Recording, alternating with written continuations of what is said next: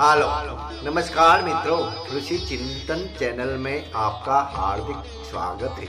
आज का चैप्टर है, जीवन चलने का नाम। सरला नाम की एक महिला थी। रोज वह और उसके पति सुबह ही काम पर निकल जाते थे। दिन भर पति ऑफ़िस में अपना टारगेट पूरा करने की डेडलाइन से जुटते हुए साथियों की होड़ का सामना करता था। बॉस से कभी प्रशंसा तो मिली नहीं और तिखी, कटीली आलोचना चुपचाप सहता रहता था। पत्नी सलाह भी एक प्राइवेट कंपनी में जॉब करती थी। वह अपने ऑफ़िस में दिन भर परेशान रहती थी। ऐसी ही परिस्थितियों में से जुड़कर सलाह लौटती है। खाना बनाते शाम को घर में प्रवेश करने की बच्चों को वे दोनों नाकारा होने के लिए डांटते थे। पति और बच्चों की अलग अलग फरमाइशें पूरी करते करते बदहवास और चिटचिड़ी हो जाती है। घर और बाहर से सारे काम उसी की ज़िम्मेदारी है। थक, हार कर वह अपने जीवन से निराश होने लगती है। उधर पत्नी दिन के दिन खुखार होता जा रहा है। बच्चे विद्रोही हो चलते हैं। एक दिन सल्ला ने घर का नल खराब हो जाता है। उसने प्लम्बर को नल ठीक करने के लिए बुलाया। प्लम्बर ने आने में देर कर दी। उसने पर बताया कि साइकिल में पंक्चर के कारण देर हो गई। घर से लाया खाना, मिट्टी में गिर गया। ड्रिल मशीन खराब हो गई। जेब से पर्स गिर गया। इन सब का बोझ लिए वह नल ठीक करता रहा था।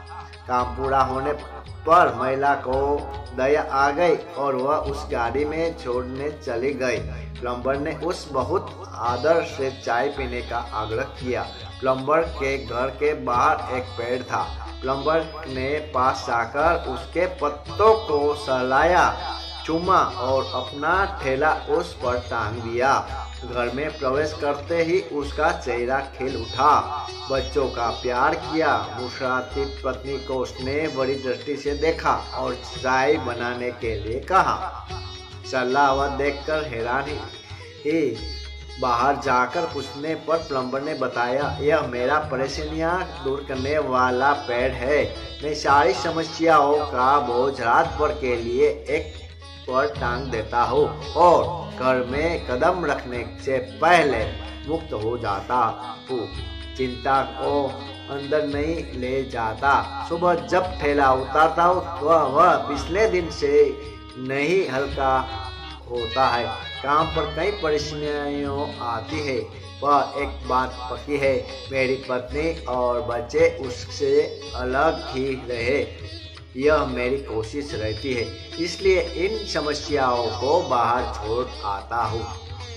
प्रार्थना करता हूँ कि भगवान मेरी मुश्किलें आसान कर दे। मेरे बच्चे मुझे बहुत प्यार करते हैं, पत्नी मुझे बहुत स्नेह देती है। तो भला, मैं उन्हें परेशानियों में क्या रखूँ?